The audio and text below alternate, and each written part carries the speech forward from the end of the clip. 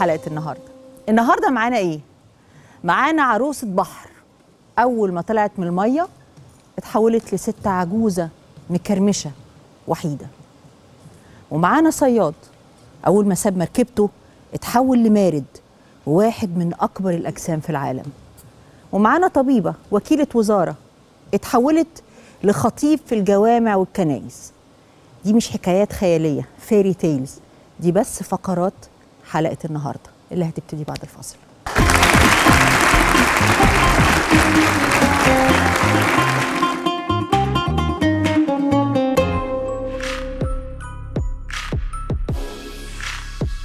بيج رامي وانت في الصور شكلك وحش. بس كلام الأمهات دايما بيمشي. فيلم مختلف.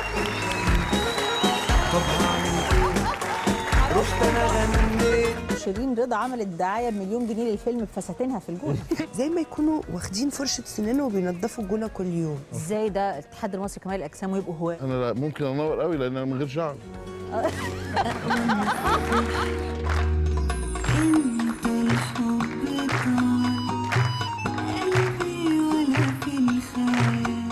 هو أنتوا بتاخدوا زي تان أو كده بتطلعوا آه. أسمر شوية. اولا أنا ما عنديش جنسية ثانية أنا الجنسية المصرية هي الوحيدة اللي معايا. أنت أسرتك بتشتغل في الصيد. شيرين حلوة. محدش هيقدر ينكر ده. شكرا.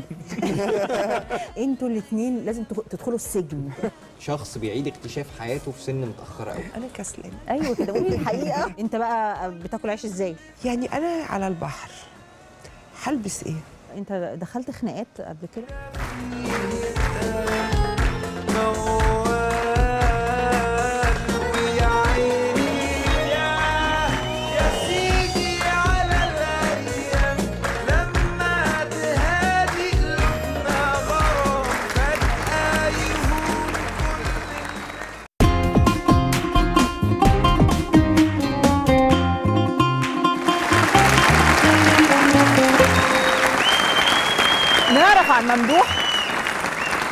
ممدوح إنه آه، من عيلة بتشتغل في الصيد آه، بس هو قرر إنه يدخل مجال تاني لوحده. نعرف عن ممدوح إن هو حب آه، فكرة البادي بيلدينج وبنى الأجسام أو كمال الأجسام. نعرف عن ممدوح إنه يمكن ما يكونوش أهله كانوا متوقعين له إنه يكمل في المجال ده أو ينجح فيه أو حتى معترضين عليه ايا كانت الأسباب إلا إنه هو كمل. كمل لحد ما وصل لمرحلة مصر كلها دلوقتي بتحتفل بإنه ممدوح أو بيج رامي أخذ مجموعة من الألقاب الدولية على إنه واحد من أهم ال bodybuilders آه، في كمال الاجسام في العالم كله. مؤخرا من كام يوم يعني بنتكلم على بطولة أرنولد كلاسيك اللي أخذ فيها المركز الأول أرنولد كلاسيك أوروبا برشلونة 2017 وقبلها ومن أسابيع أخذ المركز الثاني في مستر اولمبيا برضو آه السنة دي من كام أسبوع يعني في مستر أولمبيا. يعني نعرف ألقاب عن ممدوح أو بيج رامي إنما ولا مرة آه شفنا نفسنا جنبيه. يعني مش عارفين هو إحنا بالنسبة له تبقى ال proportion عامل إزاي النسبة والتناسب عاملة إزاي. يعني هل هو بيج رامي عشان تقسيمة العضلات اللي موجودة آه، ومطلوبة في المسابقات دي ولا عشان هو ريلي بيج رامي يعني طول بعرض. خلينا نشوف اجزاء من المسابقات.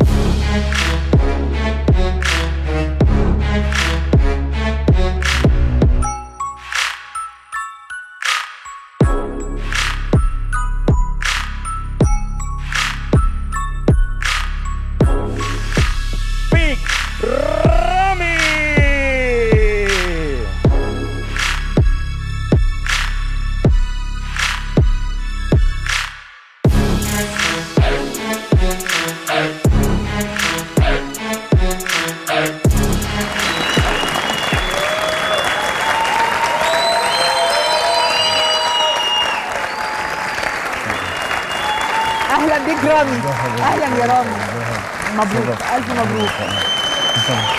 طبيعي. لا لا لا اعمل له كده اقف كده الوقفة العظيمة دي. السلام عليكم. شرف الموعد خالد ربنا يبارك في عمرك اتفضل اتفضل يا رامي. السلام عليكم. وعليكم السلام ورحمة الله وبركاته. رامي آه، يعني وانت في الصور شكلك وحش. يعني يعني انت وانت جاي شكلك طيب دلوقتي. إنما في الصورة تحس إنه يعني عارف لما يجيبوا في الفيلم آه، آه، الوحش اللي هيكسر كل ال- المكان ال- يعني أنت شكلك طيب في الحقيقة. آه والله ده اللي يحكم عليه الجمهور. لا شكلك هنا طيب إنما هناك مع ال مع آه الوقفات. ده طبيعي ده طبيعي إن أنت لازم تكون شوية اجريسيف وأنت الأول السلام عليكم. وان شاء الله كل سنة وأنتم طيبين. ودايما. كده في انتصارات آه بما إننا في شهر أكتوبر. والانتصارات اللي حاصله في كل الرياضات. إن شاء الله دايما نسمع أخبار كويسة لأهل بلدنا السلام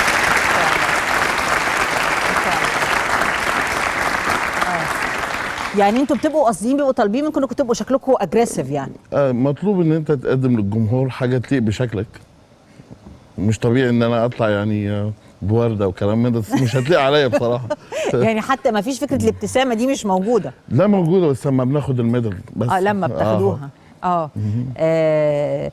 انت اسمك ممدوح؟ ممدوح. امال ليه بيج رامي؟ آه، إحنا أنا من بلد أرياف آه، آه، دايما كده بينادونا باسمين وإحنا صغيرين.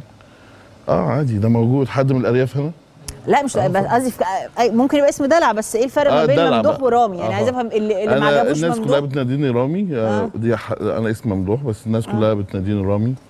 آه أول ما سافرت آه في أمريكا في 2013 بعد ما احترفت آه الناس يعني كنت عشان heavy في ال weight وكده فقاموا قايلين بيج رامي فبس بقيت بيج رامي أيوه أنت يعني آه، أصل في ناس دايما يقول لك لما جينا نتولد آه، أبويا كان عايز يسميني كذا وأمي كانت عايز تسميني كذا فاختلفوا فكل واحد آه، مشى كلامه بطريقته. آه ودي حقيقة. آه. آه بس كلام الأمهات دايما بيمشي يعني. آه، اللي اتسجل رسمي هو اللي كان عايزه ال- الأب ولا الأم؟ آه طبعا الأم. يعني هي الأم عايزة ممدوح. آه آه. آه والأب رامي ف أنا إخوالي آه، أنا ليا خال اسمه ممدوح ووالدي ما كانش هو موجود فرق وفي وقتها وكان بيسافر فبقيت ماشي ممدوح. آه ممدوح. ال ال بص بقى الرجالة يعملوا bodybuilding يطلعوا عضلات الستات هي اللي في الآخر بتنتصر في المعارك اللي زي. دي. طيب. رامي أنت جايب معاك آه، أنت جايب معاك صحابك ال bodybuilders جايب يعني يعني مع الفقرة كده يعني الحقيقة هل أصحابك برضو كلهم لازم يسيطروا هنا لازم الوضع يكون أيوه بس دخلتكم كده تخض تخض تحس إن أنتوا جايين تقفلوا المكان. مش يعني. مش على فكرة الناس كلها بتاعت ال bodybuilding الموجوده في مصر وخصوصا الجيل الموجود يعني أعتقد إن هم قدموا صورة كويسة لل bodybuilding وحققوا انتصارات آه، يعني المطلوبة منهم علشان يرفعوا اسم بلدهم بس بصراحة يعني جيل مميز جدا كلهم. آه. وأعتقد إن هم قدموا صورة مشرفة جدا عن ال bodybuilding وعن كمال الاجسام يعني. آه. آه، إيه الفرق ما بين بطولة العالم لكمال الأجسام والبطولات المهمة اللي إحنا بنتكلم عليها بطولة آه، أرنولد واولمبيا يعني في فرق. إحنا في في level عشان تحترف لازم تمر بمرحلة الهواة. مرحلة الهواة اللي يعني آه، آه، الغالب اللي بنسمع عنها في الميديا هنا في مصر. آه، اللي هم اللي تبع الاتحاد المصري لكمال الأجسام. آه، إحنا علشان نروح مع إزاي ده الاتحاد المصري لكمال الأجسام ويبقوا هواة يا رامي؟ هواة. ال level ده كله هواة.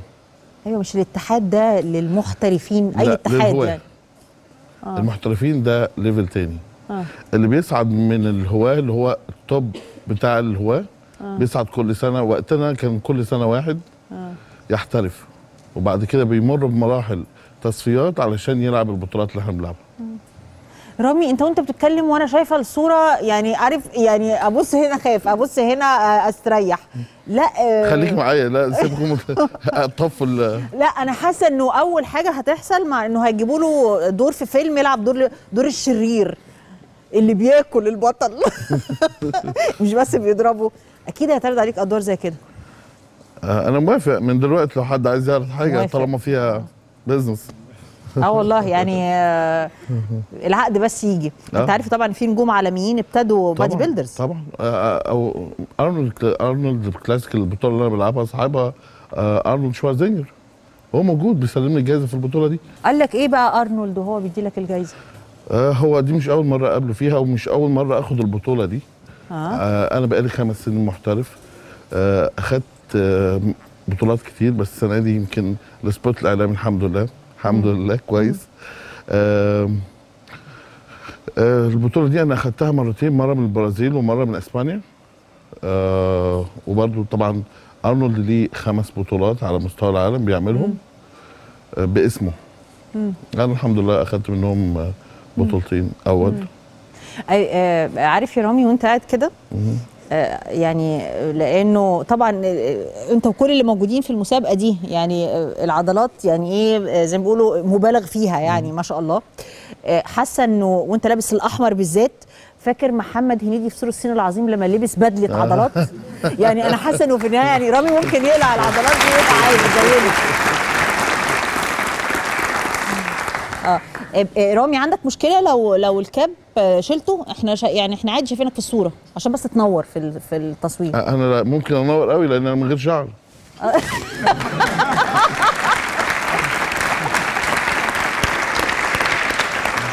كده ما أعتقدش. كده ما أعتقدش إن حد هيعرفني. آه. ليه ما حدش يعرفك ليه ما حدش ما حدش بيشوفني دايما غير بال cap هو أنتوا بتطلعوا هو أنتوا بتاخدوا زي tan أو كده بتطلعوا. أسمر شوية؟ أها. لازم ناخد tan لون قبل الماتش وكده. عشان ال details بتاعت ال muscle بتبان. آه يعني أنتوا في المسابقة ما تبقاش كده بلونك بتبقى أسمر. لا طبعا. ده اللي هو بي... في ناس ما بتحتاجش ولا؟ في ناس ما بتحتاجش اللون ده آه، بيبقوا هم ربنا خلقهم باللون بتاعهم ده. آه يعني ده بيبقى سبراي ولا ولا؟ آه لا tanning زي اللي بيحطوا له العربيات كده. لا بهزر طبعا. آه إيه؟ أنا صدقت على فكرة. معلش ما بفهمش في ال bodybuilding لا لا لا, هو بسيط. هو تان حاجة اسمها في شركتين بيعملوا tan ال color بتاع ال body ده. آه. آه مش عايز أقول أساميهم. ولا نقول أساميهم ما بيجوش هنا مصر. آه. شركة اسمها Pro Tan و Jan Tana آه. دول عشان ال color يبقى باللون ده. آه آه. و و آه، معلش أنا هسألك أسئلة بدائية جدا لأن أنا مش آه، هدعي إن أنا بفهم في ال bodybuilding بالعكس أنا أنا عارف إن برنامج حضرتك الناس كلها بتشوفه فلازم تسأل الاسئله دي علشان طيب. هو ماشي. بسم الله الرحمن الرحيم. أول سؤال هو إيه الفرق؟ يعني ليه واحد يكسب آه، مركز أول ومركز تاني؟ يعني آه إحنا يعني إحنا التقييم بتاعنا على شوية على ال balance بين التناسق آه، ال condition اللي هو آه، آه، يكون في condition يعني حالة حالة ال- ال- ال- ال- النشافه بتاعت الجسم. آه، المقاسات بتاعت العضلات يعني إيه مش- يعني العضلة تبقى ناشفة قصدهم. قصدك يعني. أها. آه فيها percentage من إيه؟ ميه يعني؟ آه، الاثنين Fat percentage. إنها تبقى دهون قليلة، وحتى آه. الوتر يعني الاثنين آه آه. فعشان تطلع بال condition ده بالشكل ده. آه يعني التناسق وحالة ال ال ال العضلات. جاهزيه ال- آه آه. آه طيب و دي بطولة على فكرة دي بطولة Mr. أولمبيا اللي حصلت فيها المركز الثاني. آه. البطولة دي ما دخلتش باسم مصر في تاريخها المركز الثاني. فعلا.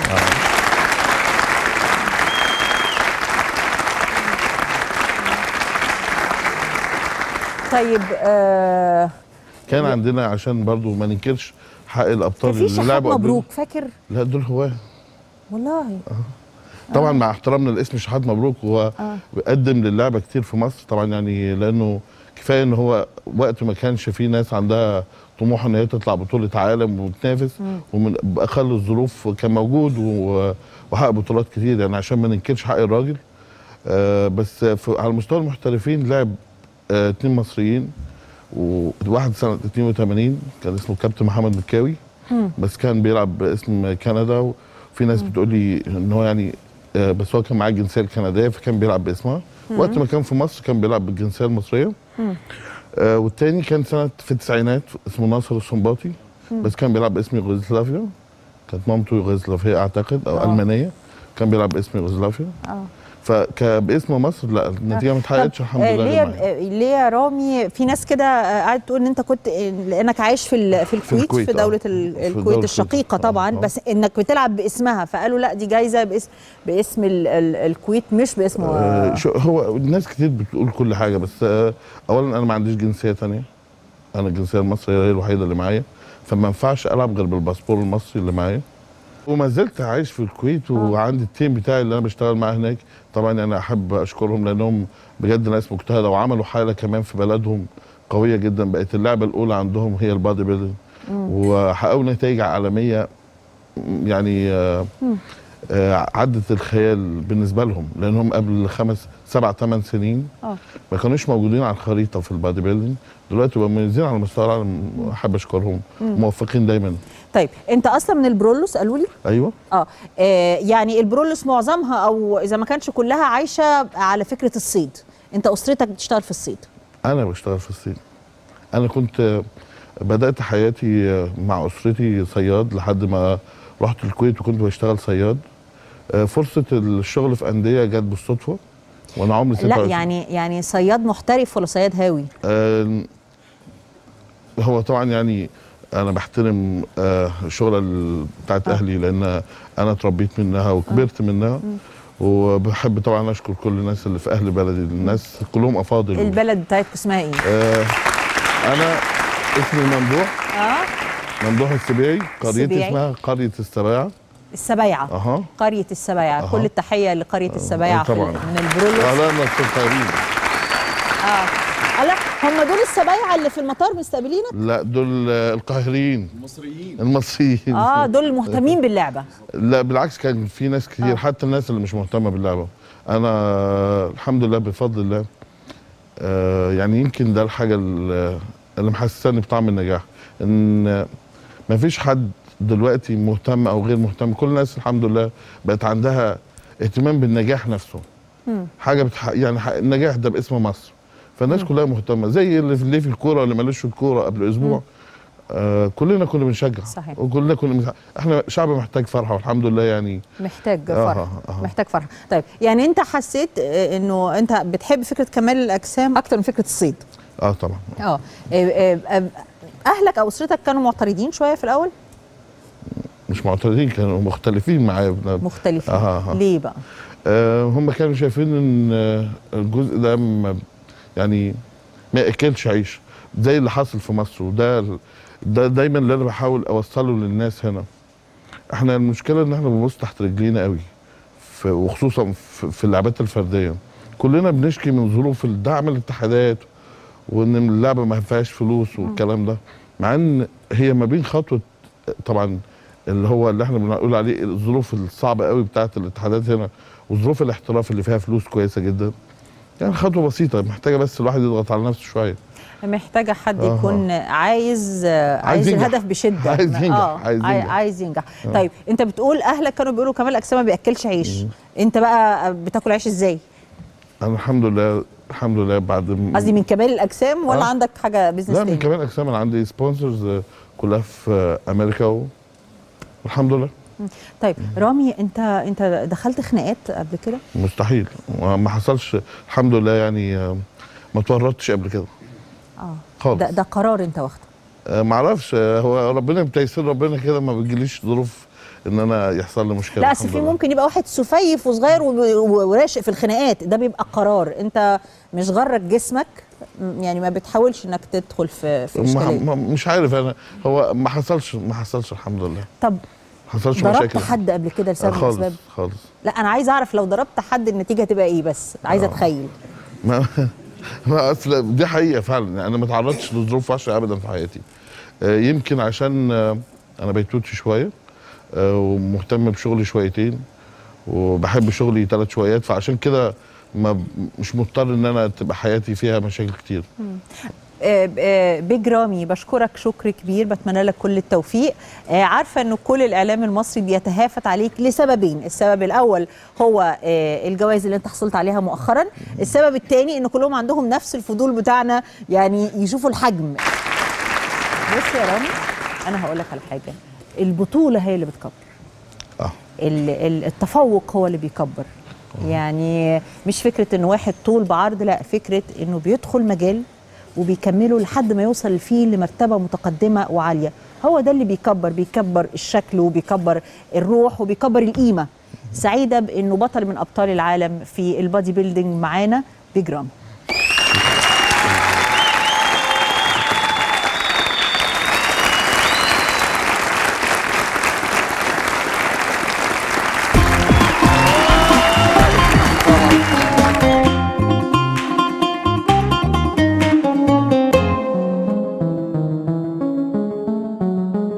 مشكلة في الغردقة بانتشار بعض آه، أمراض الحميات. أنا ما أخدش اذن حد أنت ممكن تاخدي جزء أساسا. أنا مع الناس في, وقت ما يعوزوني. كنا عاوزين شكلها عيانة زي اللي في الصورة دي. في مثلا 350 مليون آه، مصاب على مستوى العالم. بس ده ممكن يعرضك لمساءلة على فكرة. مجرد إن هي ما تلاقيش مكان تدع فيه البيت بتموت. كلنا هنكبر ونعجز وفي يوم من الأيام هيبقى شكلنا كده. فعادي. شخص بيعيد اكتشاف حياته في سن متاخره قوي ابعت السيناريو تعالى نشوف. لا، قاعدة طول اليوم أبص في المراية. يا لهوي. من هي الدنيا مقلوبة بره وإحنا بنسجل دلوقتي. شكرا. شكراً انت لكل انت حد. قال. بالحاجات دي. انت بتحبي الدنيا والحياة والناس.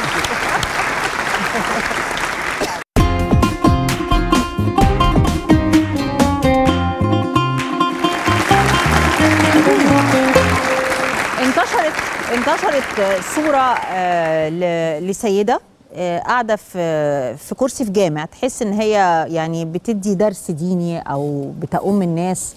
آه، والناس الحقيقة للوهلة الأولى اعتقدوا إن ده نوع من آه، آه، الممارسة ال- ال- الغريبة إنه إنه واحدة ست هي اللي تؤم الناس بالذات في المسجد مش في المراكز اللي زي دي. آه، وقالوا يمكن آه، مصر حصل فيها كارثة وبقى في تقليد لبعض ال- آه، الحاجات المشابهة بره. إنما مع بعض الاستيضاح تبين إنه هذه السيدة آه، مش بتقوم بدور ديني إنما بتقوم بدور طبي اجتماعي. الطبيبة دي أو السيدة دي هي وكيل وزارة للصحة. حصل مشكلة في الغردقة بانتشار بعض آه، أمراض الحميات وتحديدا ما يسمى بحمى الضنج أو الضنك. آه، فكرة أي أي مرض فيروسي بيبقى انتشاره قابل إن هو يبقى سريع. والوقاية منه هي الحل الناجع وأفضل وسيلة للقضاء عليه. هي قررت إنها ما تستناش. إيه أقرب طريقة إن هي تقابل بيها الناس؟ إن هي توجه آه، آه، نصائح ورسائل توعوية؟ الجوامع والكنيسة اللي موجودة. راحت تقعد مع الناس مع الأهالي مع المصلين مع الأئمة. قعدت تشرح للأئمة إن كل إمام في المسجد بتاعه يقول للناس آه، حاجات لها علاقة بال بالاحتراز من ال- من الأوبئة دي أو من الفيروسات دي طريقة مكافحتها وكمان عشان تطمنهم.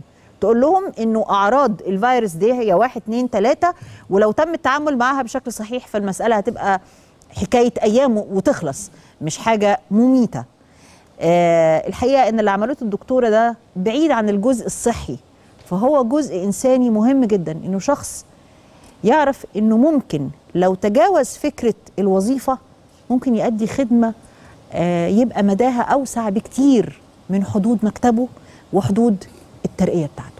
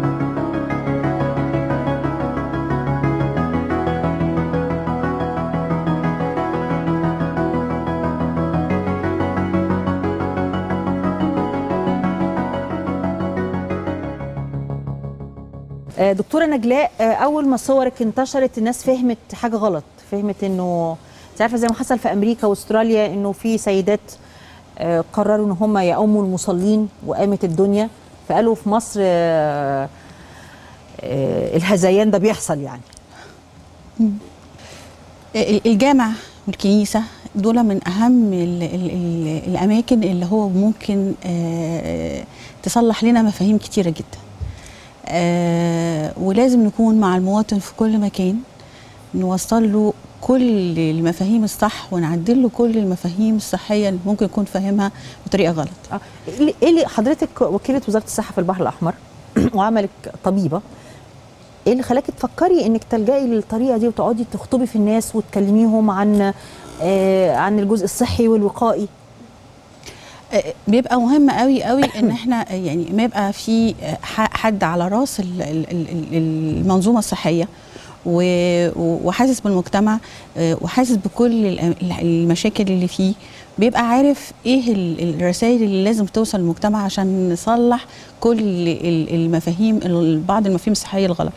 آه، خلينا نقول يا أستاذة منى إن إحنا آه، عندنا حاجات كتير قوي آه، صحية فاهمينها غلط. آه، آه عندنا لا بس حضرتك اتحركتي بسبب شيء محدد بسبب انتشار أحد الأمراض الفيروسية أو من الحميات صح أيوة. آه قولي لي آه أنت كنت شايفة إنه التحرك السريع هو أفضل حاجة تحصل عشان آه آه، زي ما بيقولوا يعني تحديد أو آه آه تقييد انتشار ال- ال- المرض ده هو بس برضه كمان أنا عايزة أقول لحضرتك مش بس مش بس في يعني آه، يعني في حدث معين هو حضرتك أما تبقى في بعض القلق وفي بعض ال- ال- البلبلة اللي حاصلة للناس أو بعض الناس عندهم آه، بعض المخاوف من حاجة معينة لازم حد يكون آه، ذو ثقة يتعامل معاهم ويقف معاهم ويشرح لهم. آه. آه بس هو يعني النا- الناس يعني آه، كان عندها أسئلة كتيرة عايزة تعرف إيه اللي حاصل والدنيا عاملة إزاي. آه في يعني كان في مخاوف كتيرة من ان الناس آه، آه بعض الناس يستغلوا آه إن الناس مش فاهمة آه ال- المرض أو يفسروا آه بعض الأعراض اللي عندهم بطريقة مخيفة.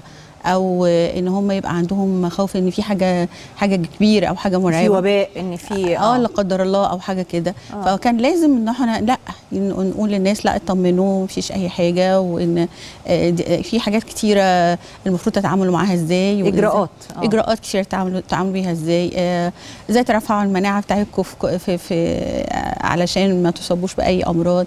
طيب عايز أسأل حضرتك سؤال. قبل ما تنزلي الجوامع وال- والكنايس آه، رجعتي لرؤسائك؟ ولا حسيتي إنه دي مسألة أنا مش أنا بحاول أفهم نمط تفكير الإنسان اللي عايز يعمل حاجة صح ومتأكد إنه في آه، الوقت له له قيمة. يعني عملتي كده وبعد كده تفهمتي مع رؤسائك ولا لأ؟ خفتي تنزلي أي مكان قبل ما تاخدي الإذن؟ لأ هو أنا يعني أنا ما اخدتش إذن حد. يعني ما أخدتش اذن حد وما فكرتش إن أنا حتى ان يكون ان أنا أتأخر على ما آخد الإذن أو آه لأ أنا مع الناس في, في وقت ما يعوزوني وفي كل مكان آه لأن دي ده ده ده ده يعني آه، الواجب عليا كطبيبة قبل كل شيء وواجب عليا كمسؤولة.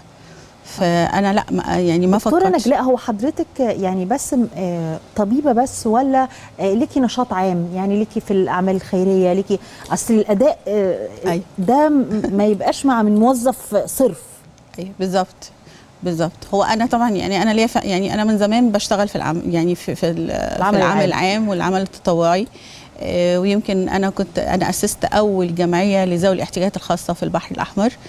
وأنا كمان آم، يعني مدرب تنمية بشرية معتمد آه، أنا بحب أكون مع الناس آه. في كل مكان يعني ده تكوينك بعيد عن.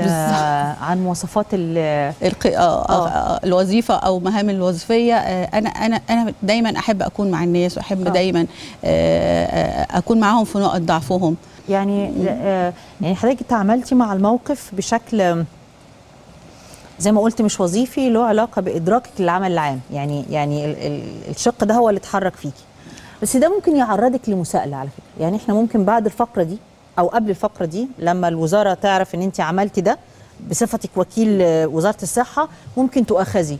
انت ممكن تاخدي جزء أساسا. مش يعني ما اظنيش ان اي حد من الرؤساء هيدي جزء على حاجة آه، جزء يعني لأن إحنا ال- الخدمة الصحية مش بس خدمة علاجية لكن الدور ال- الوقائي والدور التوعوي هو هو هو عمل أصيل من من الخدمة الصحية. وهو ده الكونسبت اللي عايزين نشتغل بيه علشان آه، آه، نرفع بيه الوعي بين المواطنين على أساس إن ما يبقاش في يوم من الأيام إن إن إن حد آه، آه، يبقى عندنا مثلا آه، مو- مجموعة من الأمراض والناس مش عارفة تتعامل معاها إزاي ولا يبقى في حاجة صغير يعني إجراء صغير قوي ممكن يحمي ناس كتير قوي من إن إحنا يبقى صحتهم يحصل لها تأثير. فلا يعني آه، أنا مش هخاف من المساءلة ايا كان نوعية المساءلة لكن و- إن شاء الله ما يحصلش أنا بس بفترض إنه أحيانا العقلية الروتينية يعني ياما شفنا. ياما شفنا ناس عملوا حاجات كويسة جدا وبعد ما خرجوا من الاستوديو آه، اللي أخد جزا واللي اتنقل واللي اتحدف. أنا مش ببشر في وشك بس يعني ده حصل قبل كده. أيوة. وانت أكيد مدركاه انه ده ده قائم بس انت شفتي الصح عملتيه. بالظبط بالظبط. يعني الواجب ما يبقى مطلوب في أي وقت ما ينفعش حد يتأخر عنه. آه وما ينفعش إن إحنا ألاقي حد ضعيف آه وأنا ممكن أساعده. وأتأخر عنه. مش آه، هقدر. و- والأئمة بالرجوع لوزارة الأوقاف كانوا متجاوبين معاكي. يعني آه، آه، أئمة المساجد اللي هم تابعين لوزارة الأوقاف أدركوا إنه الرسالة مهمة و- و- ومفيش داعي للتأجيل يعني. أو- اولا طبعا أنا كنت سعيدة بيهم جدا. و... وأول ما أول ما يعني قعدت مع... أنا متعودة إن أنا أتعامل معاهم وينزلوا معايا ندوات توعوية وندوات صحية. فوجود راجل جديد معانا في, في الندوات أو في التوعية آه، ليه تأثير كبير جدا. فهم نزلوا معانا في توعية مثلا عن الإدمان والتدخين نزلوا معانا توعية لتنظيم الأسرة والمشاكل آه، ال- ال- المت... يعني مترتبة على الزياده السكانيه فهم كانوا كانوا كانوا فعلا يعني متفاعلين معايا كتير جدا. ده بيسموه آه، بيسموه آه، التكامل. آه، التكامل ما بين العمل الرسمي والعمل الأهلي للإنجاز. يعني يعني عشان نوصل للهدف بأقصر الطرق وفي أقصر آه، الأوقات. بس آه، في ختام اللقاء يا دكتورة آه، بجد الناس المرعوبة من الحمى دي آه، يعني كلمينا عنها حتى علميا.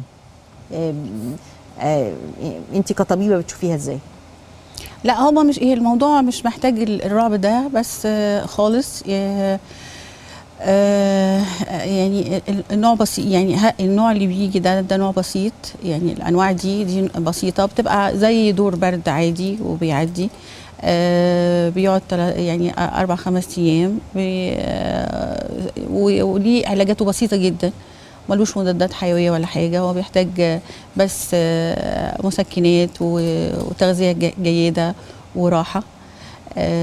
فحتى حتى حتى المخاوف دي المفروض ما يبقاش ليها يبقى ليها إيه، مكان يعني, يعني, صوروا لنا وهما بيتكلموا على إنه يعني لدغة البعوضة الحامله للفيروس ده كأنه آه، كأنها ذبابة تسيتسي يعني آه. أنت لو كده خلاص هي مسألة أيام وتموت. ده ده حصل بين الناس. حتى ال- اللي اللي بره البحر الأحمر بقوا بيتكلموا بالفزع ده. لا طبعا لا طبعا مش مش المفروض إن إحنا نقول يعني عايزة أقول لحضرتك إن في مثلا 350 مليون آه، مصاب على مستوى العالم آه، سنويا من من هذا من هذا المرض. إحنا إحنا بلدنا مش من الأماكن اللي بيبقى فيها ال ال ال ال هذا المرض أو هذه البعوضة انديميك هي هي بت- لما بتيجي في أي حتة بتبقى تيجي آه، جاية من مكان بره وبتقعد فترات فترات وبيتم القضاء عليها.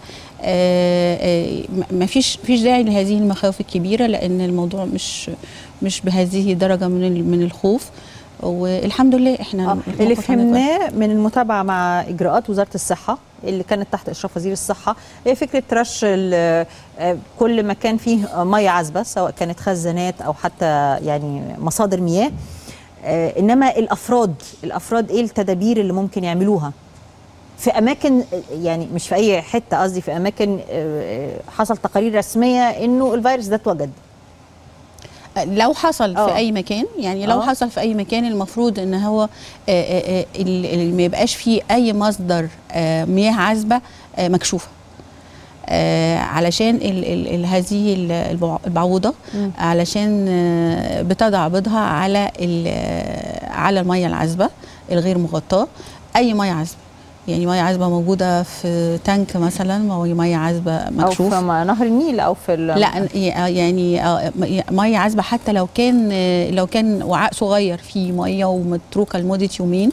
ممكن بتضع بيضها آه، هذه ال- البعوضة آه، آه، ب- يعني ما بت- تلدغ آه، مصاب بالحمى في في وقت الحمى نفسها بتتحول لهي مصابة. وبتنقل بقى من من من مصاب لمصاب تاني عن طريق هذا اللدغ. لمجرد إن إحنا ما يبقاش عندنا مية مكشوفة آه، البعوضة بعد ما بتاخد وجبة ال- ال- ال- الدم من من اللدغ بتبقى محتاجة إنها تضع البيض بتاعها بسرعة وإلا تموت. فلو ما لقيتش مية خلاص انتهت.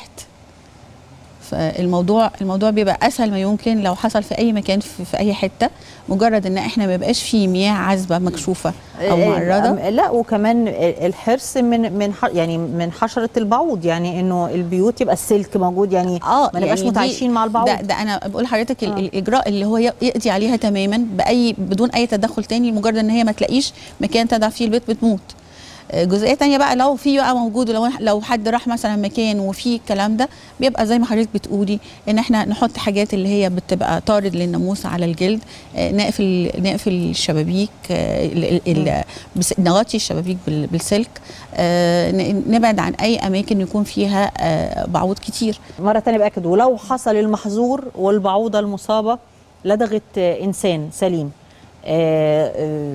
يعني في بعض المصادر بتقول إن الموضوع مميت. لا لا خالص خالص. نهائي. لا لا لا هو لا خالص, خالص. يعني الموضوع بقى زي ما بيقول حضرتك دي بتبقى زي دور برد وبيمشي. يعني دور برد سبعة أيام آه، آه، شوية شوية الجسم بيبقى مكسر آه، درجة حرارة درجة مرتفعة. حرارة مرتفعة آه بعد آلام مثلا في المعدة وبيعدي زي أي دور برد تقيل شوية. ده كلام أكيد؟ أيوه. بخلاف المعلومات الطبية خليني أقول إنه كلام أكيد برضو إنه آه، في ناس ممكن تتخطى حدود الوظيفة. آه، آه، أفقها يبقى أكبر من فكرة ال- الجزء أو أو أو المكافأة في في في الوزارة اللي هي بتشتغل فيها. آه، فكرة الكفاءة في توصيل المعلومة أو آه، درء خطر. حد شايف في خطر جاي فبينجز. الدكتورة دي عملت كده. نزلت كلمت الأئمة نزلت الكنايس نزلت الجوامع عشان تطمن الناس وتديهم تدابير. يمكن ده مش مكتوب في ال job description بتاعها مش موجود في آه، ال- الواجبات الوظيفية آه، الخاصة بيها. إنما هو موجود في واجباتها الإنسانية كطبيبة اولا وكوكيل وزارة آه، للصحة في البحر الأحمر دكتورة نجلاء. شكرا جزيلا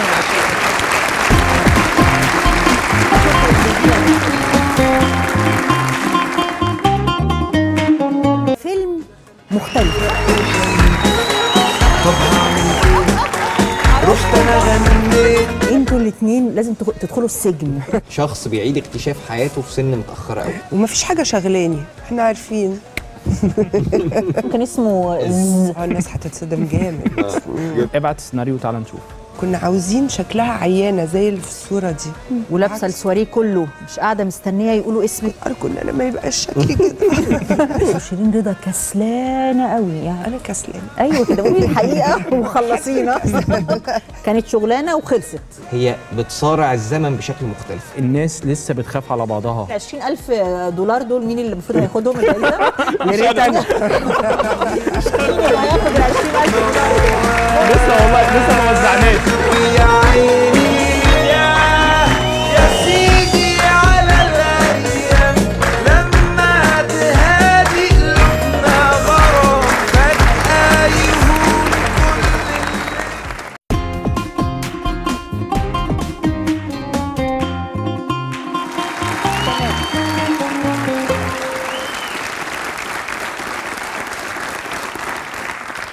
فيلم سمعنا عنه سمعنا إنه بيتحضر وبيتعمل لأنه البطل أو اللي بيقوم بالأبطال فيه نجوم مشهورة جدا. إنما ما كناش متخيلين إنه ياخد جايزة كبيرة. ليه مش متخيلين ده؟ لأنه هو العمل الأول بالنسبة للمؤلف والعمل الأول بالنسبة للمخرج.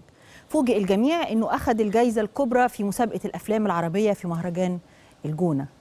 فيلم مختلف. حتى التريلر حتى الإعلان بتاعه ما تبقاش فاهم. هم صناعه المسج بتاعهم لها علاقة بالديناصورات ولا لها علاقة بالبني آدمين. بالرغم من آه، إنه في أفلام قوية جدا كانت بتتنافس في المسابقة دي إلا إنه حصوله على الجائزه الكبرى أو الجائزه الأولى كان حاجة ملفتة قوي كان حاجة خلت الناس تبتدي تبص للفيلم بطريقة تانية مش بس لأنه نجومه أسماء معروفة لا لأنه في تجربة واضح إن هي تستحق الاهتمام بخلاف فكرة العرض الجماهيري. خلينا نشوف لقطات فوز الفيلم ده بالجائزه الكبرى في مهرجان الجونة السينمائي. إحنا إحنا إحنا بنتكلم على فيلم فوتوكوبي. تجربة مش بس تحسب لصناعها اللي هي التجربة الأولى للمؤلف والمخرج إنما كمان تحسب لصناعة السينما. خلينا نستقبل ونحتفل بفوز هذا الفيلم ونعرف أكتر عن الفيلم اللي تفوق على أقرانه أو زمايله يعني من الأفلام العربية المنافسة. أولا آه، الصحفي الكاتب ومؤلف الفيلم هيثم دبور. أهلا يا هيثم. مبروك. ألف مبروك يا هيثم. اتفضل آه كمان هنستضيف اللي ما كانش متوقع إن الفيلم يكسب وبالتالي ما كانش محضر كلام في المهرجان يا رب يكون حضر كلام النهارده للحلقة المخرج الموهوب تامر عشري. أهلا يا تامر. مبروك. ألف مبروك يا تامر. اتفضل معانا بطلة الفيلم اللي هي عروسة البحر. عروسة البحر بجد مش بس عشان تامر حبيب كتب أغنية جميلة اتعرضت في المهرجان واتصورت وبقت في كليب رائع. لا معانا عروس عروسة بحر في السينما. آه وفي عالم الفن عندنا الرائعة شيرين رضا.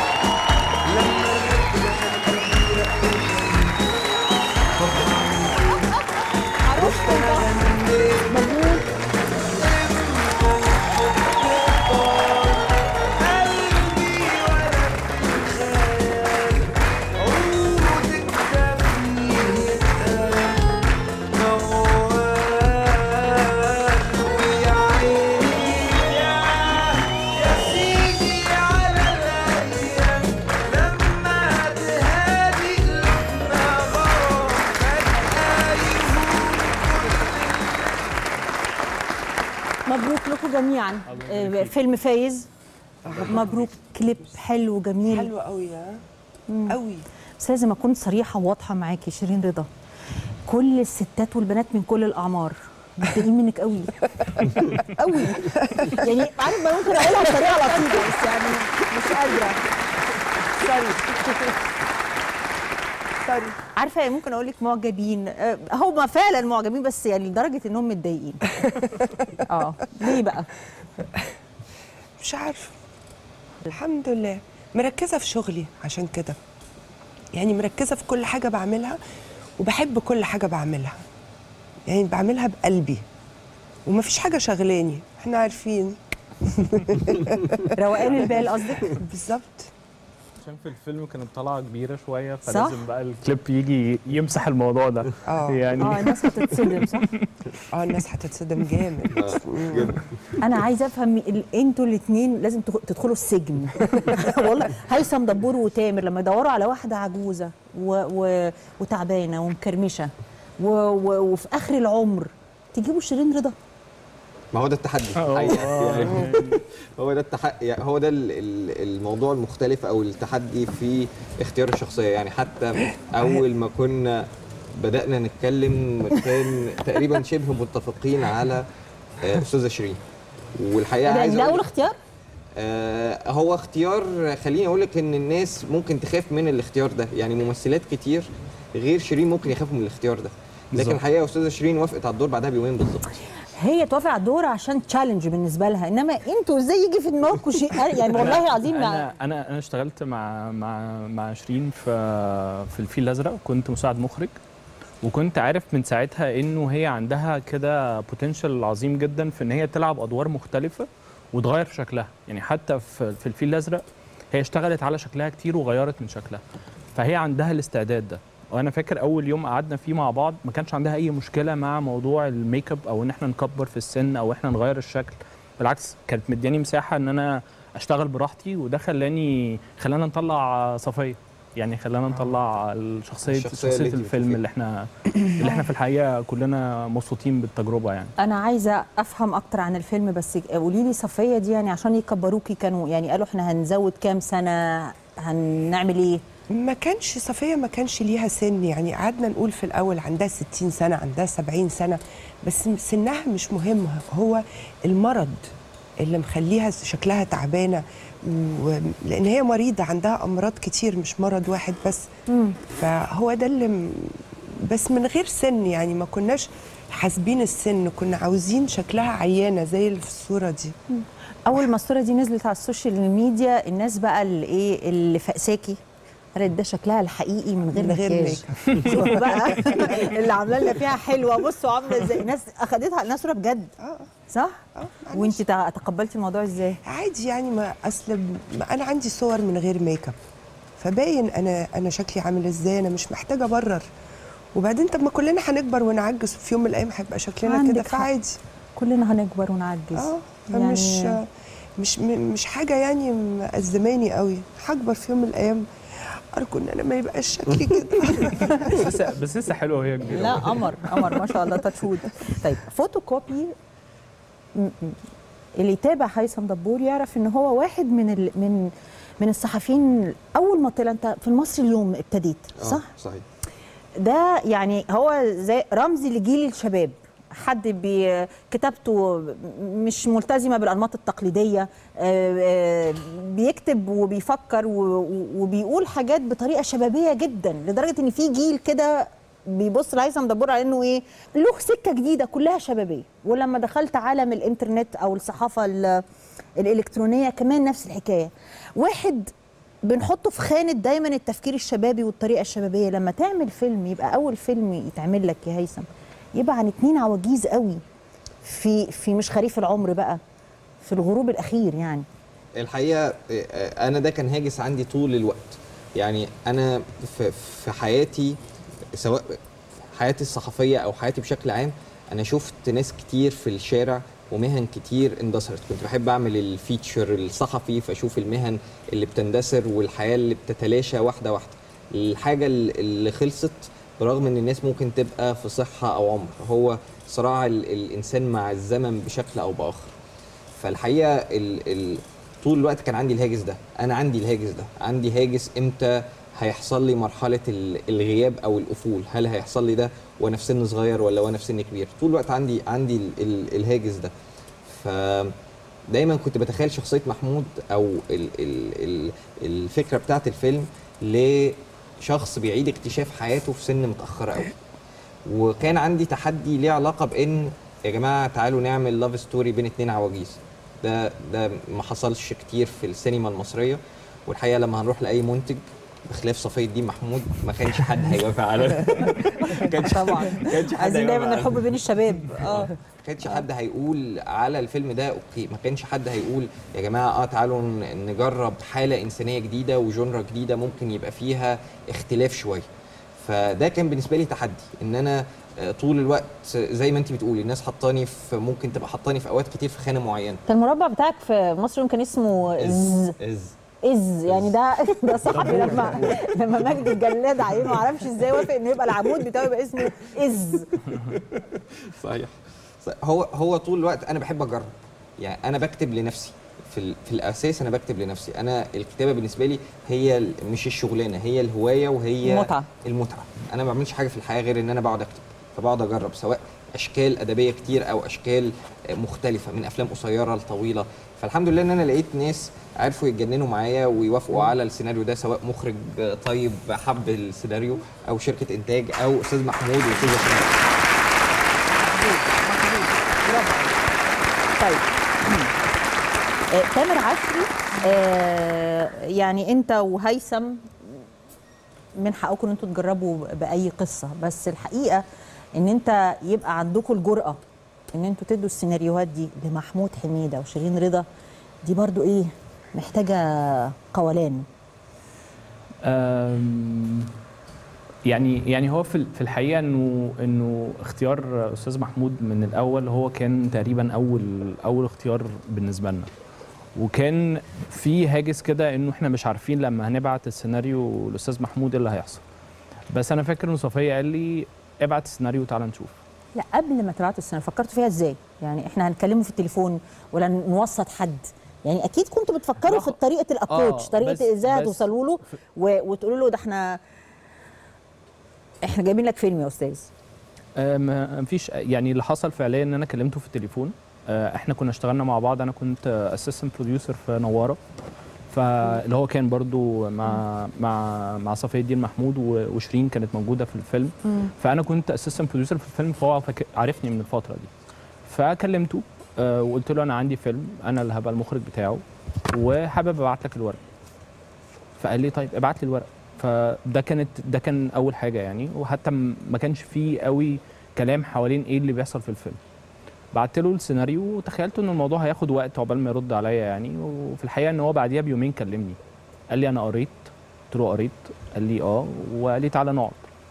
في الحقيقة أنا رحت قعدت معاه في المكتب. في الحقيقة. كان عندي الرهبة بتاعتي ان رايح أقعد مع أستاذ محمود عشان نتكلم عن الفيلم. بس قعدنا في الحقيقة ساعتين. الساعتين دول كانوا من أمتع ساعتين قعدتهم مع مع مع أستاذ محمود يعني في في الرحلة اللي إحنا اشتغلنا فيها طول الفيلم. وقمنا من القعدة دي إن إحنا يلا نشتغل. ما كانش عنده حتى لو ما قالهاش بشكل مباشر آه، قلق انه دي التجربة الأولى بتاعتك والتجربه الأولى للمؤلف. كان عنده تساؤل. مش عايز أقول قلق كان عنده تساؤلات حوالين هو ال- التجربه ال ال سواء أنا كمخرج أو آه، هيثم دبور كمؤلف آه، وجهة نظرنا شكلها عامل إزاي في الفيلم؟ هنعمل الفيلم ده إزاي؟ آه، ودي الأسئلة اللي كان بيسألهاني لما لما قعدت معاه في القعدة. هو كان عايز ي... ي... مش عايز أقول يطمن بس أي ممثل يعني أعتقد. إنه أي حد هيبقى داخل مشروع هيبقى عايز يفهم إحنا هنعمل المشروع ده إزاي. و... وده كان الطبيعي يعني مع أي ممثل هقعد هي- هيبقى نفس الكلام يعني. هو لما حس إنه الكلام منطقي وبنتكلم في وجهة نظر ليها علاقة بالفيلم زي ما هو شايفها واتفقنا بقى يعني ما بقاش في أزمة في إن إحنا نشتغل مع بعض يعني. مم. و- وال- والمسألة خلصت على طول بسرعة إن هو وافق. آه آه وشيرين رضا اخذت وقت اخذتي وقت قد إيه يا شيرين؟ ما أعتقدش إن أنا ما خدت كانش يومين. حتى. يعني أنا قريت الفيلم وانبسطت جدا. آه. انبسطت ان إن هم اختاروني أنا إن أنا أعمل حاجة زي دي. لأن it's challenge إن أنا challenge أنا ما كنتش عارفة حجمها قد إيه غير لما عملتها. لما وال- لما اتفرجتي في المهرجان كمان لما لا، الناس. كمان هي كمان أنا فاكر شيرين لما شافت بدأت تشوف أول أجزاء من الفيلم كان اللي هو ده بعد ما خلص الفيلم؟ آه اللي هو ده ده أنا. فرحانة. كان ال make up كل يوم بنقعد في ال make up كتير قوي والتفاصيل تفاصيل بتاعت المكياج والعجز وإن أنا أفضل طول اليوم شكلي كده. يعني ما أبص على رجلي آه sorry إيديا ألاقي نقط العجز. دي مش عارفة دي فعلا ولا كنت خايفة. كنت مستغربة. عارفة إن ده في يوم من الأيام هيحصل. بس مستغربة ال... إنه دلوقتي إنه بيحصل دلوقتي. وطبعا شكلي بشع بالباروكة وأنا قاعدة طول اليوم ابص في المراية. يا لهوي. بيقول إن الواحد لما يعمل يعني يعني زي ما بيقولوا خداع المخ الواحد لما لما آه، يغير في شكله ويلبس صغير يجي له إحساس إن هو أصغر شوية. ولما كمان يعمل حاجة تكبره زي المكياج بيحس إن هو أكبر شوية. يعني نفسيا بيتقمص لوحده من غير تمثيل إنه آه أنا حسيت إن أنا عجوزة. وكمان الطريقة اللي بمشي بيها وإن أنا مقتبه شوية وبعرج. حتى طريقة ده أنا قعدت أعرج فترة من غير ما يكون محتاجة أعرج. يعني بنصور لازم أعدي الشارع شارع الشارع العادي عشان نروح نصور هناك. اللي بلاقي نفسي بمشي وأعرج. إيه اللي أنا بعمله ده؟ ما أخدش منك تفكير لا و- ما خدش بالعكس. طيب. أنا بشكرهم إن هم اختاروني أنا. شيرين اللي كان بيتقال في في اروقه مهرجان الجونة. كان في كده همس وشوشه بتتقال في مهرجان الجونة. لما كانت لسه فعاليات المهرجان شغالة ولسه الحفل الختام وتوزيع الجوائز ما حصلش كان في ناس كتيرة متوقعة إن شيرين رضا تاخد جائزه أحسن ممثلة. أنا سمعت الويسبرز دي ال ال الهمسات دي والوشوشات دي. صحيح إن هي أخدته ممثلة شابة رائعة مغربية بس إنه تبقي يبقى في كده رأي عام إن انت من المؤهلات والمرشحات للدور ده لل- للجائزه دي يبقى في حالة كده إعجاب بدورك بطريقتك.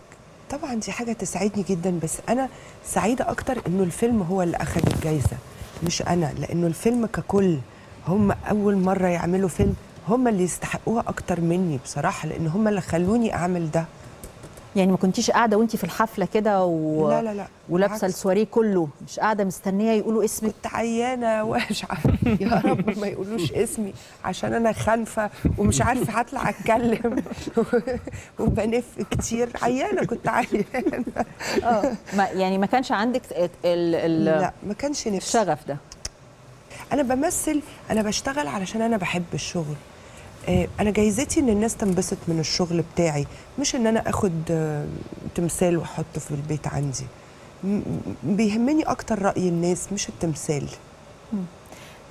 في حد مش هقول مين قال لي انه شيرين رضا كسلانة قوي يعني حتى قبل ما يجي الدور كده وي- وي- ويغريها جدا تقول أنا مش- أنا مش همثل أنا هقعد كام شهر في البيت.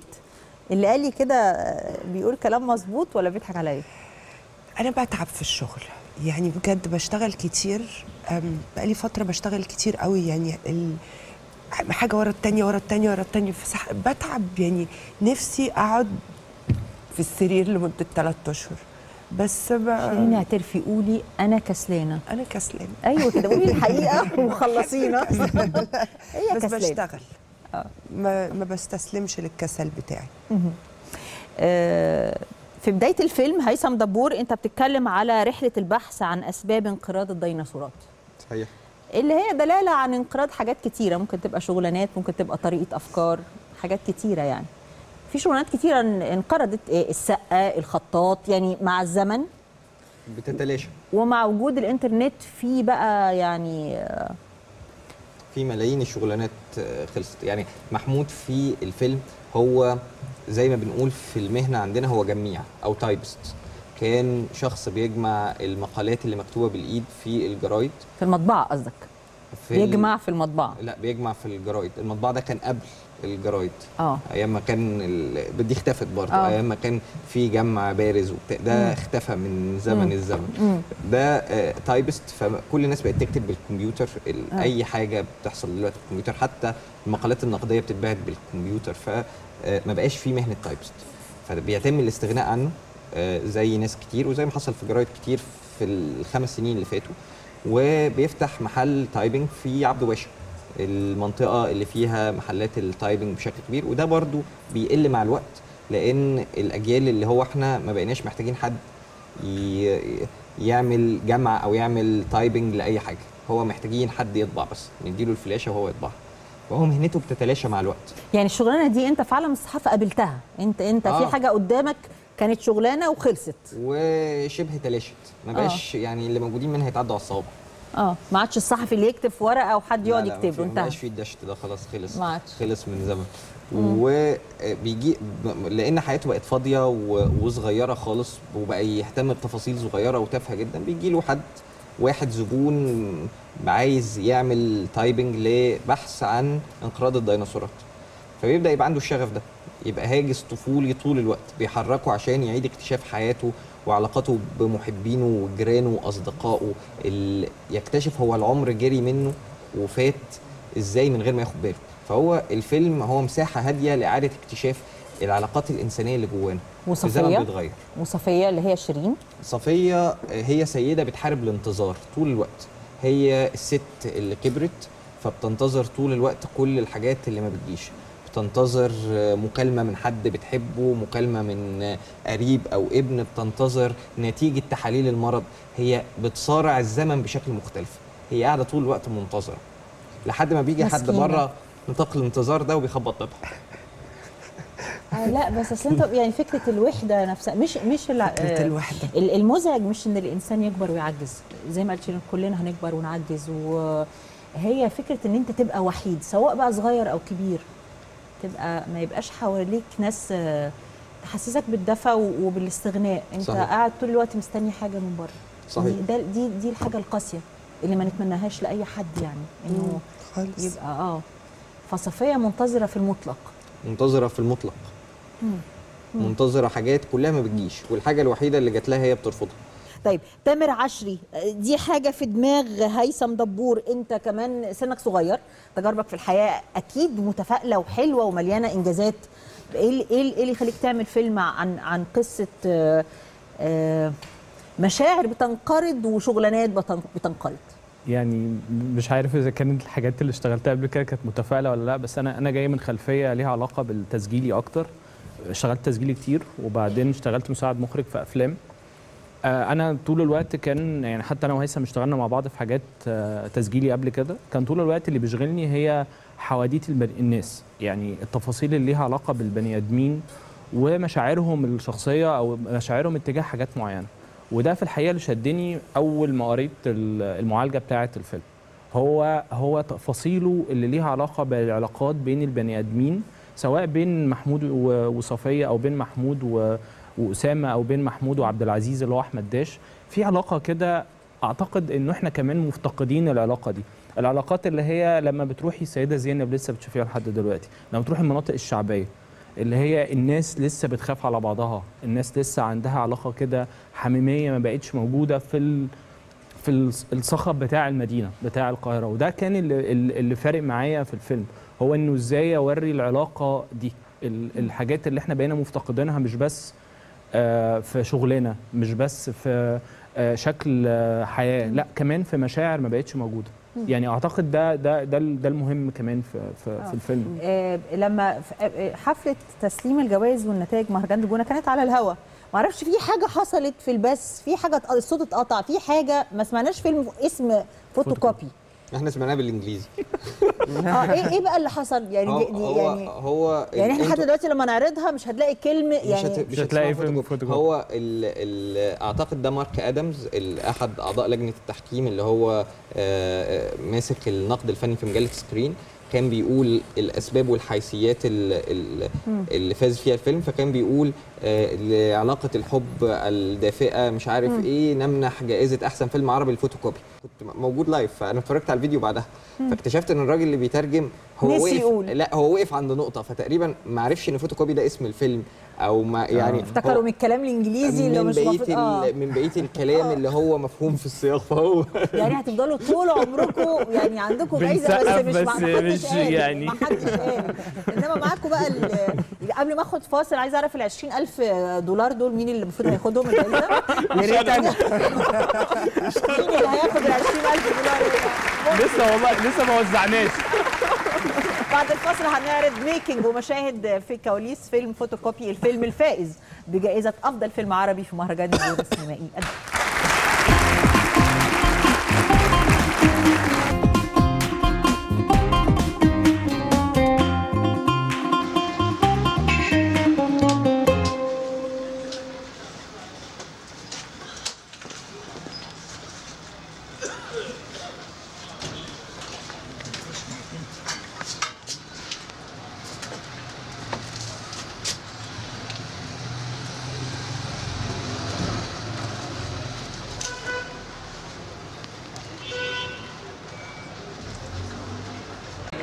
اليد من ورا كده أهوت وطالع بدايه نزلت هاتوا. طب دلوقتي هل هينفع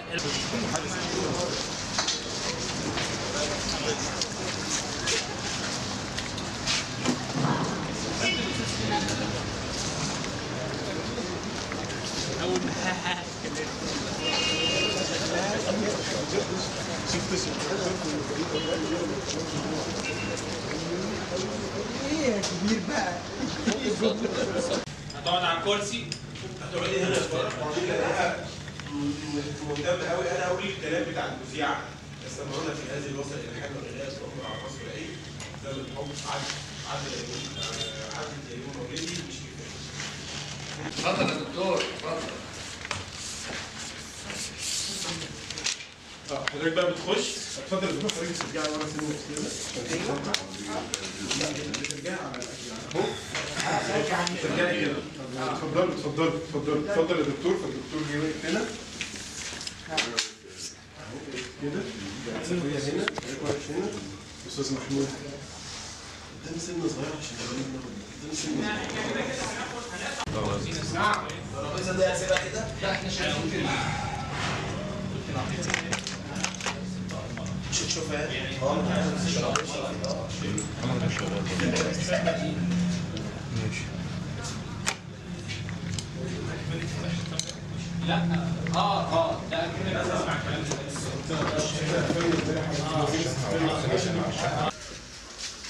أوكي ماشي وبتكلموا بعض هو المسج ماشي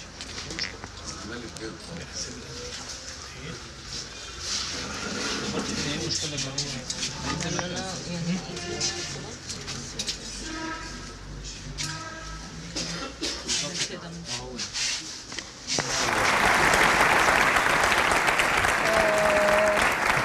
وبالرغم من إنهم كانوا عاملين فيلم حلو إلا إن المخرج ما كانش متوقع ابدا إن هو ياخد جايزة مش عارفة ليه. يعني كسفتنا لما قلت كده. لا والله خالص يعني قصدي يقول أصل أنا ما كنتش يا جماعة. يعني كلنا كنا يعني متفاجئين أكيد كان باين علينا في يعني قصدي فعليا ما كناش متوقعين. مش عشان مش عشان يعني ده مش مش تقليلا من الفيلم في الحقيقة بس إحنا يعني ودي من المميزات في الحقيقة اللي كانت موجودة في مهرجان الجونة في الدورة الأولى إنه كل الأفلام اللي كانت موجودة كانت على مستوى قوية. قوية يعني أفلام فالمنافسة كانت قوية. يعني قصدي الحقيقة يعني خليني أضيف على تامر حاجة إن في ال 14 فيلم اللي كانوا بيتنافسوا أو الأربع أفلام ال ال ال العربيين اللي كانوا بيتنافسوا إحنا كنا التجربة الوحيدة الأولى سواء للكاتب أو للمخرج. بالظبط. كل ال ال ال الأفلام التانية على قوتها هي ما كانتش تجارب أولى لصناعها فإحنا زي اللي داخل الملعب جديد بيتنافس مع ناس كتيرة قديمة عملت شغل قبل كده وشغل حلو. وحتى الأفلام اللي إحنا إحنا حضرنا. أفلام كتير من ال- مم. المسابقة الرسمية وكانت أفلام قوية جدا في ملحوظين لازم أقولهم على الهامش يعني. واحد إنه في ناس كتيرة بتقول إنه لجنة التحكيم اللي ادت الجايزة للفيلم دي جاي يعني لجنة عربية غير لجنة المهرجان وده مش مظبوط. دي اللجنة الأساسية الرئيسية بالظبط. اللي اللي ثلاث أرباعها يعني مش عرب هي فيها مس- واحد مس- واحد مصري بس. فيها أستاذ أسامة فوزي آه إنما الباقي من. جنسيات مختلفة. ورئيسة لجنة التحكيم كانت سارة جونسون اللي هي ال executive producer بتاعت فيلم بيرد مان اللي أخد أوسكار. آخد أوسكار من سنتين. فاللجنة الحقيقة كانت لجنة كمان قوية. آه فدي أول حاجة يعني لازم يعني اللي بيقولوا كده يعني لو مش عارفين بلاش يعني وكانوا بيحاولوا يقللوا من من قيمة الاختيار. الحاجة الثانية إن شيرين رضا عملت دعاية بمليون جنيه للفيلم بفساتينها في الجونه يعني يعني ما يقدرش. يعني ظبطته. انسوا بقى اللي آه. حصل في الفيلم إحنا آه يعني, يعني أنتوا برضو. أنتوا لسه ما شفتوش العرض الخاص. خاصة إيه في العرض الخاص؟ الخاص لسه بقى. يعني. أيوه. آه آه شوف يعني فستان بقى ننزل بالفستان التاني. الناس تقعد بقى تفكر إزاي نعمل بابليستي للفيلم. فأنتوا كان عندكم آه، أجمل بابليستي في الدنيا يعني. ده من قبل الجايزه آه. أداء بقى و وبعدين في في عندها حالة من الإنرجي كده يعني في في طاقة حلوة ما أعرفش الست دي بت بتبقى واخداها حواليها كده وهي آه، ماشية. هي بيقولوا عليها في الجونة عمدة الجونة. أنا مش عارف عارفة المعلومة دي ولا لا. لا، هي ما هي. مسيطرة في الجونة يعني. ف عايشة في الجونة بتروحي الجونة؟ يعني معظم الوقت لما ما يبقى ما يكونش عندي حاجة ببقى في الجونة. بحب دي المدينة الفاضلة بتاعتي. ليه؟ ليه؟ جوها حلو وناسها رايقة ومفيش ضمامير يعني أنا قعدت السنة دي ثلاث أشهر في الجونة. لما جيت القاهرة عييت. عي... مش مصدقتش. إحنا عايشين إحنا كنا بنعيش كده طول السنة. إيه الإزعاج ده؟ إزعاج من كل حاجة. إحنا إزاي التلوث السمعي ده موجود؟ طبعا سيبك والبحر التلوث. البصري والزبالة اللي في كل حتة هناك زي ما يكونوا واخدين فرشة سنان وبينضفوا الجونة كل يوم. آه يعني أنت من من. شعب الجونة الشقيق. آه ما هي برضه ما إحنا برضه هو كان مبهر جدا كل في الجونه بس الواحد عمال يتفرج يعني إيه على أساس ان دول ناس أصحابنا يعني إنما مش حتى سميح ساويرس قال في في الحفل الافتتاح أنا أول مرة أشوف الناس لابسة حلو كده. آه. يعني مؤسس الجونة. آه النهارده بقى يوم تسجيل حلقة آه، حلقتنا النهارده آه، بالصدفة البحتة أو بال هقول حسن الطالع يعني آه، نزلت أغنية ثلاث دقات اللي اتصورت. يعني إحنا بنصور ال- الحلقة دلوقتي وال social media مقلوبة على عروسة البحر. اللي هي الأستاذة. شيرين رضا. آه. مقلوبة بقى على جمالها على مايوها على كاش مايوها ماليش دعوة. المهم إن هي الدنيا مقلوبة بره وإحنا بنسجل دلوقتي. فأنت لازم تحكي لنا كواليس تصوير الأغنية دي لأنه كمان هنعمل يعني لازم ال social media يسمعوا أي رد من بصي كان يوم لذيذ ومتعب جدا. أنا كنت أول واحدة أصور الساعة 5 الصبح. فمش إن أنا بقى أصحى 5 الصبح لا أنا أكون هناك جاهزة 5 الصبح. ومبتسمة. وكاني لذيذة. يعني انت بتصوري الأغنية دي وانت عيانة؟ عيانة. عندي ونايمة؟ 40 حرارة مثلا 39 40 انت بتخزي العين يا شيرين والله ما بخزي العين. العين أنا لسه. أنا لسه خنفة لحد دلوقتي من كتر العين. خمسة الصبح رحت أنا أول واحدة صورت و وبعدين ريحت وهم. الناس صوروا. وبعدين كلنا اجتمعنا في المكان اللي بالليل. عشان آه، اللي هو ال final بتاع الأغنية. بس كانت حلوة قوي. يعني كلنا كنا تعبانين وهلكانين من أ- أصل الأغنية جت قبل الختام بيوم. أعتقد. قبل الختام بيوم. فكان بقالنا already خمس أيام في المهرجان. مهرجان فيه حفلات وفيه أفلام وفيه عيا بالنسبة لي.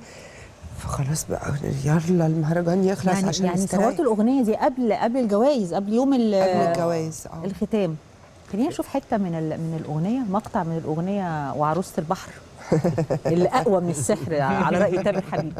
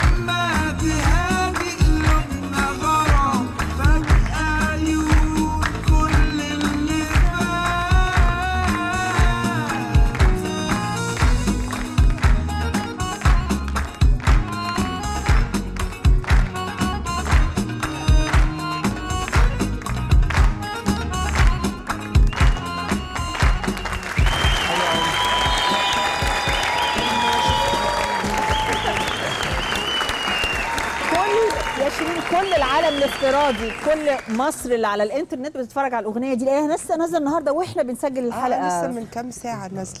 آه. النشيد الوطني للجونة. النشيد الوطني للجونة. آه. آه آه قررنا إن إحنا آه، نصورها قبليها بيوم.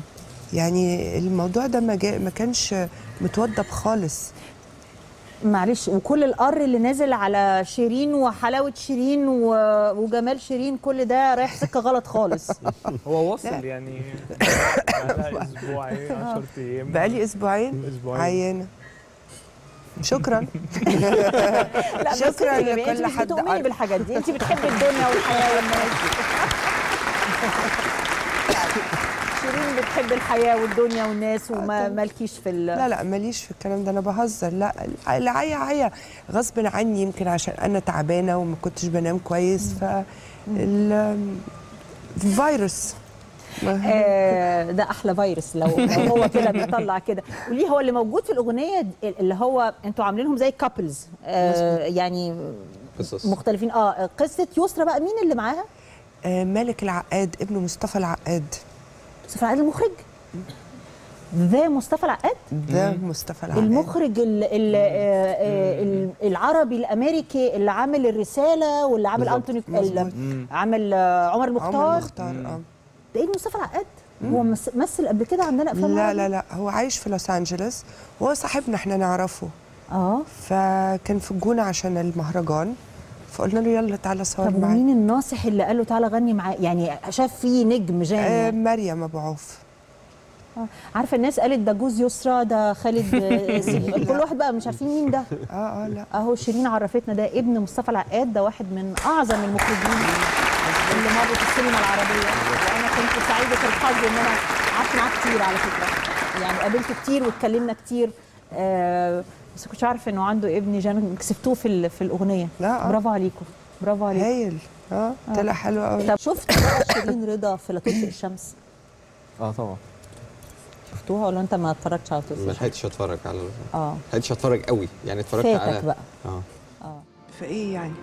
خلاص كده؟ ما هو مفيش حاجة هتتغير لوحدها. ما تفتكرش إن أنت لما تحرن على أمك وأخواتك وتسيب لهم البيت وتبطل ترد عليهم في التليفون ده هيخليهم يوافقوا على حاجة هم رافضينها أصلا. وبعدين يعني افرض يا سيدي أمك وافقت عشان ترضيك يا كتكوت أنت. خالك هيفضل زباله ما تعرفش هيعمل فيهم إيه تاني. فين كوكي ولا كوكو ده؟ كوكو. زهقت منه دمه بقى تقيل بشكل. آه ده بقاله كام؟ أسبوعين مثلا؟ أسبوعين إيه؟ هم 10 أيام. يا لهوي 10 أيام بحالهم؟ كان بيتعامل على أساس إن إحنا في علاقة وبتاع على أساس إن his girlfriend معذور برضه. أنت مش بتشوفي نفسك في المرايه ولا إيه؟ أنا مش فاهمة ليه الناس مش بتسمي الحاجات بأساميها. أنا بعمل كده. إيه الهبل ده؟ أخبار برج المراقبه عندك إيه يا محمد لا الرؤية من هنا عظيمة. عظيمة.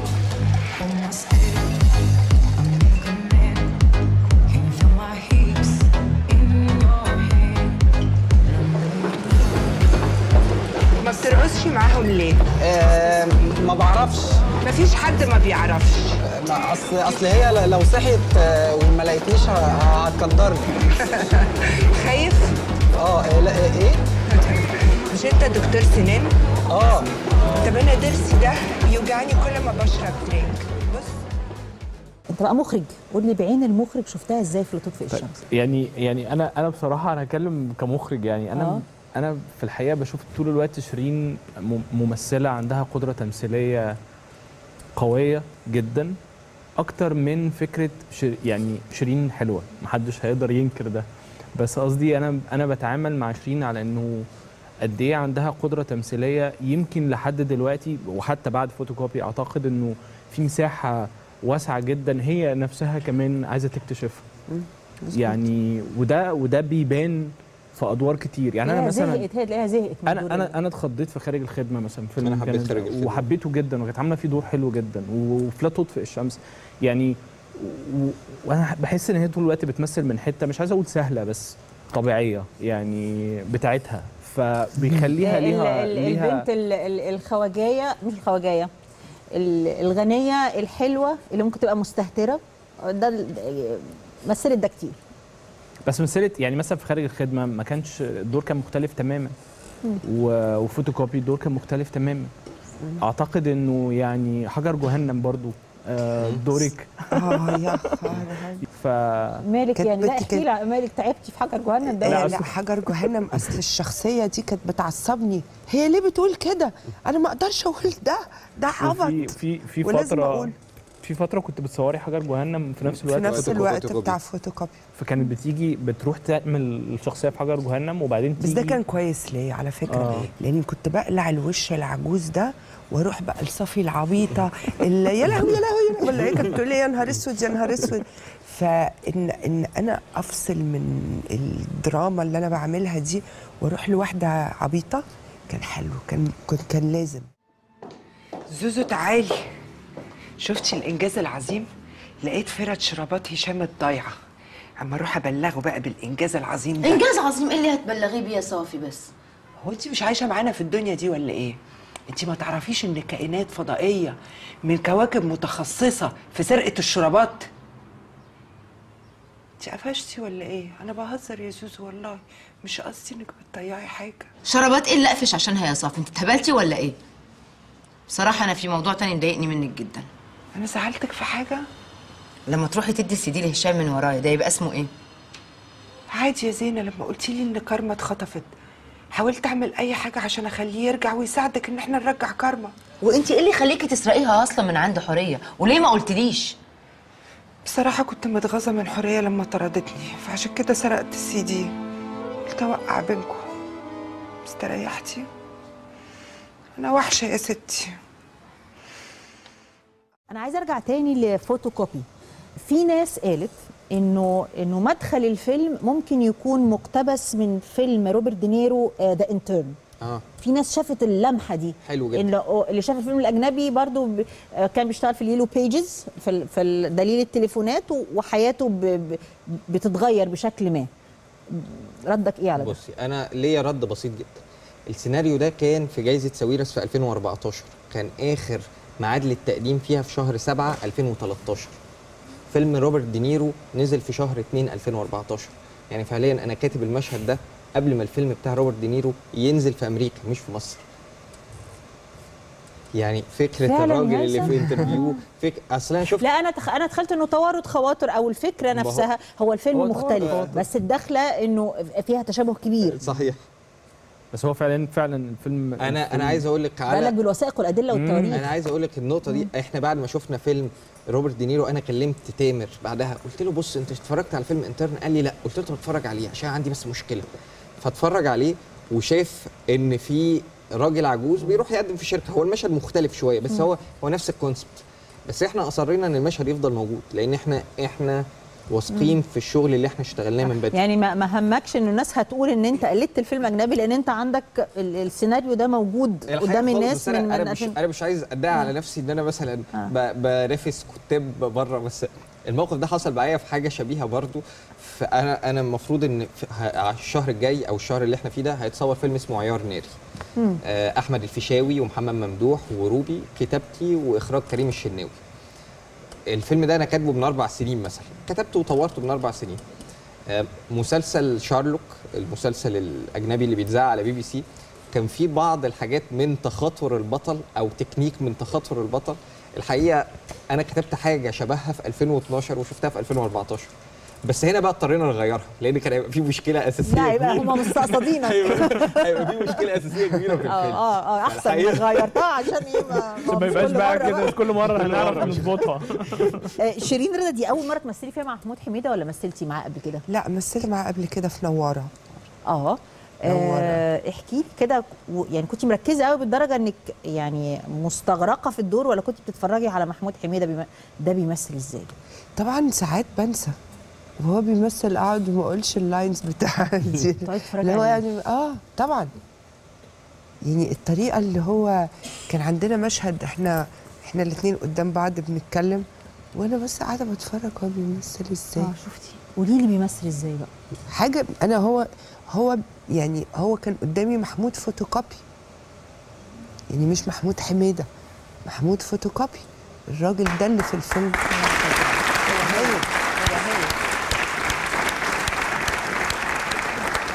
هو كمان آه، هو لا، كمان تمثيله بدائي جدا من كتر ما هو ما بيمثلش برضه في ما بيمثلش رهيب. آه. رهيب. آه، اتعلمت منه حاجة؟ اتعلمت. لقطتي منه حاجة؟ طبعا. يعني ع- ع- الواحد لما بيتعلم ما تقدريش تحطي إيدك على أنا اتعلمت ده أو اتعلمت ده بس لما بشوف السهل الممتنع بتاعه إزاي بيعرف بيأدي أكيد بلقط حاجات هستعملها بعدين أو القط حاجات هستعملها في نفس الوقت. إن ال- الإحساس مش لازم يبقى نقعد نحرك إيدينا كتير أو نحرك وشنا كتير هي نظرة. مم. أو تغمضي عينك عارفة؟ آه، حاجات صغيرة كده آه. ت- آه، آه، في ناس تبقى دارسة التكنيك وفي ناس بتبقى زي محمود حميدة كده بيبقى يعني naturally طيب إحنا في ختام الفقرة دي الاحتفاء بفيلم فوتوكوبي اللي, اللي كسب جايزة واللي قدم لنا ممثلة تقيلة آه اسمها شيرين رضا. آه عايزة أسأل آه سؤال مزدوج لكل آه ضيوفنا. آه ال- الجايزة دي أو نجاح الفيلم ده في المهرجان لأنه لسه ما اتعرضش سينمائيا. آه جايزة الفيلم ده بتهديها لمين؟ بعيد بقى عن صناع الفيلم وزمايلي والكلام ده ده حلو كويس بس يعني بشكل شخصي جدا ممكن تكون الحاجة الحلوة دي بتهديها لمين؟ وال وال والحاجة ال... أنتوا بتبصوا بعد كده ليه؟ عشان تقريبا هديها لنفس الناس يعني لا دي لأبويا الله يرحمه لأن هو كان نفسه يشوف لي فيلم طويل في السينما الله يرحمه أنا تقريبا هديها بر... يعني هديها لأبويا الله يرحمه لأنه كمان آم... أنا أبويا طول حياته بيشتغل بره بره مصر. هو بيشتغل في الكويت. ووالدي لما خرج على المعاش تقريبا حس إن الحياة خلصت. يعني حياته بتنتهي مع نهاية آه... شغله. ومبقاش حاسس إنه الحياة ليها معنى. تقريبا بعديها بفترة مش كبيرة يعني توفى. ف أنا فاكر إنه لما قريت كنت حاسس إنه في حتة كده من روحه في الفيلم وحتة من مساحات ليها علاقة بإنه أقول للناس التانية ما ت- ما تستسلموش يعني كملوا يعني وعشان كده بهديله الجايزه يعني الله يرحمه. آه أنا متأكدة ان هو حتى لو مش موجود فعليا على الأرض هو بشكل أو بآخر فخور بابنه اللي اخذ جايزة كبيرة أكيد فيلم طبعا محترم. تامر بوظ لي الشق الثاني من السؤال اللي هو كان بالظبط الإجابة. أنا كنت عايزة أقول بعد ما تقول لي تهديه لمين إيه ال- إيه الحاجة اللي أنت اتعلمتها أو خرجت بيها من الفيلم هتقولها لنفسك لما تكبر أو لما كلنا نكبر يعني. ده كان النص الثاني أنت يا شيرين تهديه لمين؟ أنا هديها لهم هما الاثنين لأن هما يستاهلوها بجد. آه، التعب اللي تعبوه وان هم ياخدوا جايزة أحسن فيلم في أول عمل ليهم يستاهل. أنا هديها لهم هما الاثنين. لا بتحبكوا جدا. إيه إيه الدرس؟ إيه ال- إيه اللمحة أو الدرس أو الحاجة اللي قلتي أنا لازم يعني أدركها بعد ما مثلت الفيلم ده لما كلنا يتقدم بينا العمر؟ اننا ما نتحطش في الموقف بتاع صفية. إن إحنا ما نقعدش نستنى. إن نعمل حاجة في حياتنا. الانتظار ده هو اللي بيموت البني آدم. هو اللي بينهي حياتك. حتى لو انت صغيرة أو كبيرة بس بينهي بيقضي على البني آدم. فلا يعني مهما الواحد كان عجوز أو عيان أو مش قادر يمشي لازم يحارب ان هو ما ما يستسلمش. خالص. عندك وانت يا أستاذ هيثم. يعني هيبقى هيبقى كلامي الحقيقة شبيه شوية. أنا اللي اتعلمته من ال ال ال الفيلم ده تحديدا وأنا بشوفه بعد ما بقى بقى سينما إن لما أكبر أبدأ أندمج مع الناس اللي أصغر مني. يعني الاندماج آه، من أكتر الحاجات اللي كانت بتمسني في الفيلم ده آه، لحظات الاندماج الحقيقية اللي بتحصل بين محمود وصفية وكل الشباب الممثلين اللي موجودين في الفيلم أو الشخصيات الشابة اللي موجودة في الفيلم. كانت الحقيقة بتصنع حالة من البهجة جواه. وكنت بشوف فيها علاقات كتير أنا أعرفها. فأنا محتاج إن أنا لما أكبر ما أبقاش قافل على نفسي شوية. أبقى محتاج أبقى أبقى مندمج مع الشخصيات الأصغر سنا كتير. آه، هيثم كان بي آه، كاتب إنه بطل الفيلم آه، جاله بحث وقعد يفكر في الديناصورات اللي انقرضت. واحد من الأسباب الفلسفية لانقراض الديناصورات مش مش مش فكرة الفود تشين والسلاسل الغذائية لا الفكرة الفلسفية إنه الديناصور انقرض لأنه ما عرفش يطور نفسه. مش هتكيف لأنه ما عرفش يتكيف مع المتغير. لأنه ما عرفش يتواصل مع المستحدثات. أي بني آدم ما بيعرفش يعمل ده أو ما أهلش نفسه إنه يبقى عنده سيناريوهات بديلة وإنه يتواصل مع الأصغر وإنه يتواصل مع الأحدث سواء كان اختراع سواء كان فكرة سواء كان ابن أو جار أو حفيد هيبقى زي الديناصور بالظبط. هينقرض وحيدا وينتهي. ويمكن دي ال moral أو دي الرسالة الأساسية لفيلم فوتوكوبي بتهيألي إن هي رسالة إنسانية ملهاش علاقة بجائزه أفضل فيلم عربي. واشكركم شكرا جزيلا. صناع فوتوكوبي تامر عش المخرج هيثم دبور المؤلف وعروسة البحر. وقت غروب الشمس واقف على البحر بعيد عمال بحكيله واشكيله واشرح وأعيد. فجأة لقيتها وكنت فاكرها عروسة البحر خارجة من المية وطلتها أقوى من السحر لما شفتها قلبي دق تلات دقات. والطبلة دخلت لعبت جوا دماغي